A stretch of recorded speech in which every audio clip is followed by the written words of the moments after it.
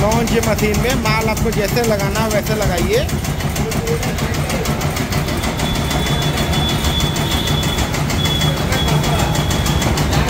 माल देखिए कैसे कट रहा है।